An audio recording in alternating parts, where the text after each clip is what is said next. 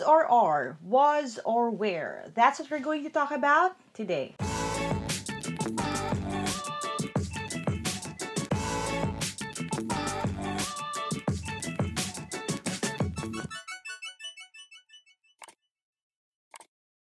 Hi there, thank you for checking out my channel. Thank you for clicking on this video. If this is the first video that you're watching from my channel, I make educational motivational content. So if you don't want to miss any of my new uploads, don't forget to hit subscribe and hit that bell icon. Now, like I said in the intro kanina, we're going to talk about the differences between is and are, was and where. I actually covered this doon sa aking full na lesson on subject-verb agreement.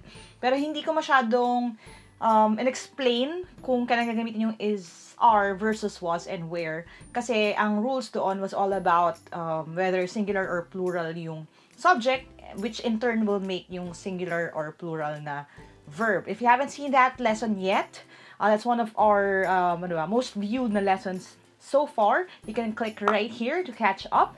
Pero itong video na ito will be dedicated specifically dun sa distinguishing qualities ng is, are, was, at where. And hopefully, ma-clarify ito para sa inyong lahat na nagpo-post ng comment requesting for this video. Now, just a quick little plug. What I'm wearing right now is ating uh, Trying Hard na gray hoodie. If you want one like this or yung iba pa nating Team Laika merch, you can get that sa www.shop.teamlaika.com. And uh, that is actually a big help when it comes to us um, keeping up yung ating volume ng videos that I make for free. So, thank you sa lahat ng mga nag-order na. And if you want to wear yours, please use the hashtag TatakTeamLaika so we can find that um, on your social media um, accounts pag nag-post kayo. Okay? So, I'd love to see you guys wearing the shirts and the hoodies and the stuff that I made. It really makes me happy. So, um, now that I have that out of the way, I'm going to switch over to my PC so I can explain itong lesson na to better. I'll see you in a bit. Alright, so uh, ito yung ating lecture is R was, where. And uh, I couldn't stress this enough. I have a full, well, relatively full-length na discussion na on subject-verb agreement. If you haven't seen that video yet, ililink ko na lang din sa taas. This is more specific kasi marami pa rin ang nagugulhan sa inyo. I made that earlier video assuming na um, you already know uh, kung ano yung difference ng is, are, was, where. But um, because you keep requesting for me to explain this um, specifically na yung distinction ng apat na ito, I'm making this video right now. There is a flowchart here which is something that I know you enjoy from yung aking mga ibang videos like have been, has been, had been. And hopefully yung flowchart na yun will help you decide then what to use, lalo na kung mag, nagsisimula kayo magsulat ng mga sentences, kung is, are, was, where ba dapat. Okay? Let's start with the basics. So, ano ba pinagkaiba nila? Yung is or are, at yung was or where ay nasa magkaibang timeline. Okay? Magkaibang pagkakataon siya ginagamit. Ang is or are generally ginagamit pag present tense. Ibig sabihin yung event ay hindi pa tapos. Yan ay nangyayari ngayon. Minsan kung patanong, posible rin sa hindi pa nangyayari. For example, are you going to the beach? Or uh, are they planning to attend the wedding? Okay. Is it going to be hot in there? Uh, is it going to be cold during the winter? All of these things, again, ang importante, hindi pa siya tapos. Yung event na pinag-uusapan, hindi pa siya tapos. For example, pag sinabi na Mike blank my fiance, ang tanong would be, magkasama pa ba kayo? Kayo pa ba ni Mike? Okay, kung kayo pa ni Mike, siya ay iyong fiance right now, ibig sabihin, pwede mo sabihin na Mike is my fiance. Now, ang was or where, you use it for events na tapos na, past. Okay, so usually in the past tense. Kapag tapos na yung pangyayari, nangyari siya sa past, uh, hindi na siya, final na siya, tapos na siya, ginagamit natin yung was or where. Okay, so again, always remember, kapag may W na, Okay? Nasa past na yan. So, ang magandang way for you to remember is the word wakas. Diba? In Filipino, pag sinabi natin wakas, ibig sabihin tapos na. So, pag nagwakas na yung event, may W na siya. So, W-A-S, W-E-R-E. Pag nagwakas, was, where. Okay? So, ibig sabihin nun, pag sinabi natin na Mike was my fiancé, dahil was siya, this happened in the past, ibig sabihin right now, hindi mo na siya fiancé. So, maaaring uh, you called off your engagement or kinasal na kayo kasi hindi na kayo mag-fiancé ngayon, mag-asawa na kayo. So, that is in the past. Kaya, Mike was my fiancé. Okay? So, again, Doon muna tayo sa distinction na yon. Ang is or are, parehong hindi pa tapos ang event. Pag was or were, nagwakas na or nasa past na yung event. Now, now that we have that out of the way, tingnan naman natin yung difference nung is at saka are. Ang is, ginagamit ito kapag singular ang subject. Dito na po mapasok yung sinabi ko doon sa video ko ng subject-verb agreement na kapag singular, may S, kapag plural, wala. Ang ibig sabihin nun, kapag singular ang iyong uh, subject or mag-isa lang siya, may S ang iyong verb. Ang verb mo in that case would be your is. If you notice, may S siya. So, for example, Helen blank my best friend. Sino ang iyong best friend? Sino ang subject? Si Helen. At dahil si Helen ay isa lamang, ibig sabihin nun, Helen is my best friend. Again, assuming na ito ay nangyayari sa ngayon, best friend mo pa rin siya hanggang ngayon. Ang are naman, ginagamit mo siya kung ang pinag-uusapang subject ay plural or in cases na ang pinag-uusapan ay you. Okay? Kung ang ina-address ay yung uh, second person na kausap, you, okay? You also use are. So, you are. You don't hear people saying you is. Diba? Hindi ganon. You are. Pag you, automatic, are. For example, sabi dito, my teammates blank my best friends. So, ang subject mo dito ay teammates. Okay? Obviously, may S. Ibig sabihin, plural siya. Marami ang pinag-uusapan, higit sa isa. Ibig sabihin, my teammates are my best friends. Okay? So, again, hanggang ngayon, magkakaibigan kayo. Marami sila, so, are. Pwede rin siyang ganito. You blank my best friend. So, dahil you ang pinag-uusapan, you say are. You are my best friend. You cannot say you is my best friend kahit na ang you ay pwedeng maging isa. Now, a quick little tidbit din, ang you kasi is the same word that we use kung isa lang ang kinakausap mo, pwede rin siyang gamitin kung marami. So, for example, um, pag sinabi natin na you are my friend, pwedeng ang kausap mo isang tao. Pwede rin na you are my friends. Okay? Ibig sabihin, lahat ng mga tao nakaharap mo, may, maaring higit sila sa isa, dalawa, tatlo, or higit pa, you pa rin sila. Okay? Uh, iba yon sa Pilipino kasi sa atin, we say kayo. Ba? Kayo, uh, ikaw. Iba yung ikaw sa kayo. Ikaw kapag isa lang yung kausap mo, kayo pag marami sila. Pero sa English, it's all you. Okay? So, yun yung distinction. Kaya again, pwedeng uh, to or plus, you pa rin. So, you still use are. So, hindi na siya nagbabago. Hindi na nagiging you is. And this is something that you just need to remember. The same thing is parallel dun sa ating ibang words. Yung was at saka where, yung was ginagamit din pag singular ang subject. Again, kapag singular may S. Okay, but in this case, nagwakas na siya, may W na siya, ibig sabihin it happened in the past. So for example, yung where naman din, ganun din siya, plural subject, and then may you. So kung plural lang yung subject, or you ang pinag-uusapan, use where. So, a sentence like this, kung hindi na kayo mag-best friend ni Helen, siguro dati mo kayo magkaibigan, ngayon kayo of fall, falling out. So, Helen was my best friend dahil si Helen ay isa lamang. Okay? Pwede rin na my teammates blank my best friends. Again, nangyari ito in the past. Hindi na kayo magbe-best friend ngayon. So, ibig sabihin, you use where. Kasi yung teammates mo is more than one. Pwede rin na you were my best friend. May onting pag, uh, ano na to, pagsusumbat. Parang, oh, best friend kita noon. Pero kunyari, hindi na kayo magkasundo ngayon. So, ibig sabihin, you were my best friend. So, again, tandaan nyo lang, kapag unang tanong would be timeline and pangalawang tanong would be kung ilan yung subject or kung you ba siya. Ngayon, tingnan natin itong flowchart that I made. Again, if you're writing a sentence, making a decision kung ano yung iyong shadan sa inyong exam, or kung tama ba yung ginamit na word sa sentence correction question, ganito yung flowchart na kailangan yung tanungin sa utak ninyo. So, for example, magsisimula tayo sa taas. First question would be, tapos na ba yung event? Ibig sabihin tapos na ba? Ibig sabihin, this happened in the past or hindi sa past? Now, kung tapos na siya, nasa past siya, ibig sabihin nagwakas na siya, ang next question would be, ano ang subject? Kung singular siya, mag-isa lang siya, singular, may S. So again, may W ka na kasi nagwakas, may S ka kasi singular, the answer would be was. Kung plural naman, nagwakas, again with a W, pero walang S yung iyong word, so where. Sa kabilang side, kung tapos na ba ang question mo at hindi pa siya tapos, ibig sabihin, pwedeng nangyayari siya ngayon or question siya na something na mangyayari in the future. Pwede mo tanongin kung anong subject. Kung singular siya, again, with the is, okay, pwede siyang maging is kasi mag-isa lang siya. Again, singular, dapat may s yung word. Kung plural naman, or you, magiging are. So, how does this come into play sa actual question?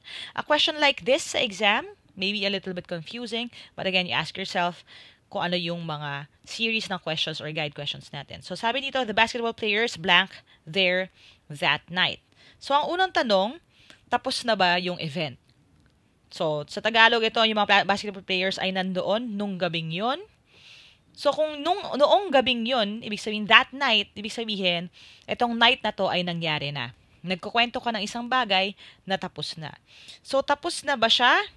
The answer would be yes. Now, kung tapos na siya, ang next question would be, ano ang subject? Ano ang subject niya? Ang subject ay basketball players. So, may S dyan, ibig sabihin marami sila. Plural siya. So, the answer would be we. The basketball players were there that night. Okay? So, ganyan yung value nung kung meron kang visual na uh, diagram or uh, thought process Lalo na dun sa mga hindi pa to gamay. Honestly, if you started young, medyo automatic na to sa'yo. You just need to be a little bit careful kapag uh, medyo tricky yung sentence. Pero kung hindi pa, you can start out with this. Okay? Now, itong question na to, iba naman siya. Sabi, Haley blank, the smartest dog I know. Okay, question. Uh, tapos na ba siya? Now, ano ang clue natin dyan doon sa sentence? Sabi dito, Haley blank, the smartest dog I know. If you notice, yung know yan ay alam niya or kilala niya, pero hindi pa siya new. Okay?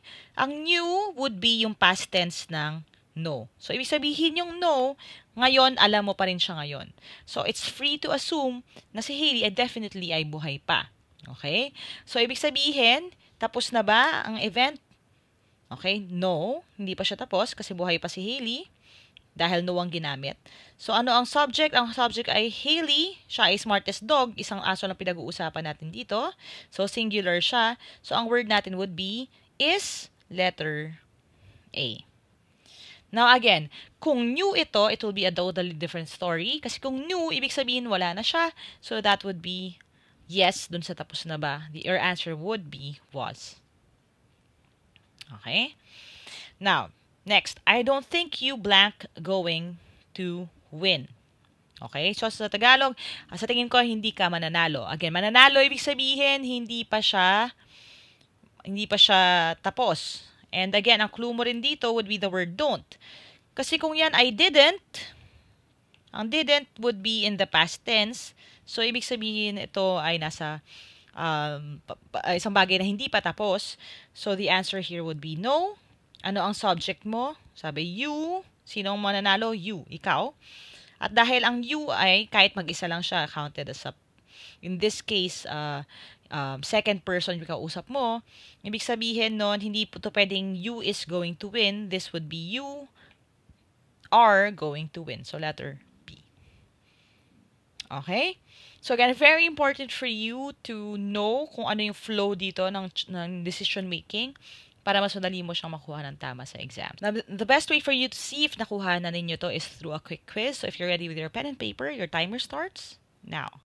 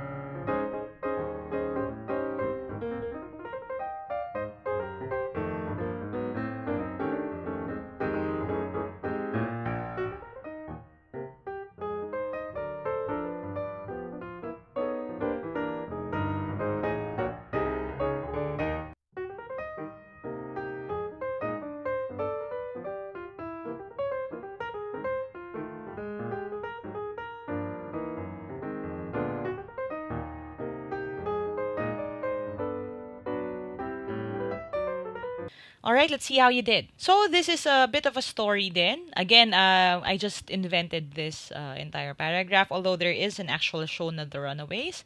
Uh, hindi naman necessarily this, ito yung aking feelings about the show. Pero I just use this para mas fluid yung ating um, narrative dito sa question na to. So, sabi dito, The Runaways blank re- first released in 2017. Now, ang tanong would be, tapos na ba siya? Sabi dito, released. Yun ang clue mo eh. So, kung released na siya, ibig sabihin siya in the past, ang pinagpipilian mo na ngayon would be was or where. So, ano ba yung runaways? Now, this is a bit of a trick din kung ang sagot nyo dito ay where dahil ang runaways ay may S. Mali yun dahil ito ay actually isang proper noun. Yung The Runaways is a TV show. Okay? At at ilang show siya? Siya ay isang show lang. So, ibig sabihin, kahit na may S ito, ang answer dito would be was. Kung naguluhan kayo sa rule na yon, yun yung ating, um, ano ba, tricky part or pitfall ng Philippinism sa subject-verb agreement, panoorin nyo aking full lecture on subject-verb agreement para makuha nyo yon. Again, kasi capital siya, siya ay proper noun, so ito ay counted as one. The Runaways was first released in 2017. The actors blank, primarily young and from different backgrounds. Okay? So, itong actors na ito, okay, nasaan sila? Ito bang statement na to ay nangyari na in the past or in the present? Okay? Now, again, pertaining dun sa ating first sentence, na-release yung, yung Runaways in 2017, tapos na siya. So, itong mga actors na ito, there should be where din. Tapos na. Kaya lang, mahigit siya sila, sila sa isa kasi actors sa pinag-uusapan. So, the answer would be where. Now, next. Lyrica Okano, one of the main characters, blank of Japanese descent. Okay? Now, ito ay ito yung ating uh, tanggalable na tinatawag. Okay, ako nagtawag ng tanggalable doon. Pero basically, these are um, parts ng isang sentence na pwede mong tanggalin and the thought will still be the same. The sentence will still be buo. So, uh, itong mga ito, pwede mong tanggalin. Maraming naguguluhan kasi dito dahil may S ito. Lyrica Okano, blank of Japanese descent. Now, ang tanong would be, ito bang statement na ito ay nasa present o nasa past? Ang tanong niya dyan, di buhay pa ba siya? Nagbago ba yung kanyang Japanese descent? Now, kung ikaw ay galing sa lahi ng uh, Pilipino, lahi ng Hapon, lahi ng kahit ano pa man yan, hindi naman nagbabago yung iyong descent eh. Diba? Hindi yun nawawala over time. So, ibig sabihin, dahil siya ay nandyan pa, this would be is. At isang tao lang kasi ang pinag-uusapan dyan, si Lyrica lang. Okay? Kung ang nilagay mo dyan ay was of Japanese descent, ibig sabihin, yung pagiging Japanese descent of Japanese descent niya ay nangyari in the past at hindi na ngayon. Pero it doesn't work that way kasi yung lahi mo hanggang ngayon ganun pa rin yon.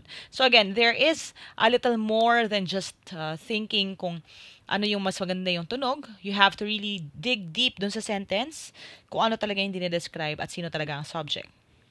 Number four, this show and other small smaller Marvel properties blank available on demand on Hulu. So, ang tanong na again here would be again, tapos na ba ito? Dati ba siyang available? Hindi na ba available ngayon?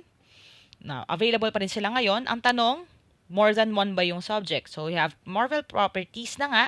Meron ka bang this show? And, so ibig sabihin all of these, marami sila. Available pa rin sila on demand on Hulu. So, ibig sabihin, this should be R. This show and other smaller Marvel properties are available on demand on Hulu. Now, give it a try. You blank not going to regret it. Okay? So, ito, give it a try. Ibig sabihin, subukan mo. Hindi mo pa sinusubukan. Hindi mo daw yon i-regret. So, again, hindi pa nangyari in the past. So, you ang pinag-uusapan, this should be are. You are not going to regret it. So, the answers are was, where, is, are, are. And I hope you got all of five correctly. If you didn't, that's okay. We'll have more practice naman. I'll be posting more questions on my Instagram account. So if you don't follow me yet, follow me at Laika Maravilla. Check out my Instagram stories. Doon ako nagpo-post ng mga questions like this so you can drill yourself. You can find the other questions din sa aking highlights kung gusto niyo pa ng more practice. Alright? Alright, I hope you learned something today. If you did, click thumbs up. Make sure that you share this video with your friends lalo na mag-exam din sila. Dati mas marami tayong matutulungan. And as always, if you want to reach out to me directly, get the reviewers that I made, join the online or live review events, you can go to www.facebook.com slash teamlaika for more information. Thank you guys, and if you don't want to miss any of my new uploads, marami pa tayong paparating lessons, don't forget to hit subscribe and hit that bell icon para hindi nyo sila ma-miss. Kasi uh, alam ko marami sa inyo malapit na yung exam ninyo. And um, that is why I'm going to try to make as many videos as possible before your exam para marami pa akong maituro at maihabol ko yon sa inyo. So, yeah, just um, turn your notifications on para malaman ninyo kapag ready na sila and I'll see you then. Thanks guys! And we always see dito sa team na to, never stop learning. Adja, adja, kaya niyan. I'll see you next video and bye for now.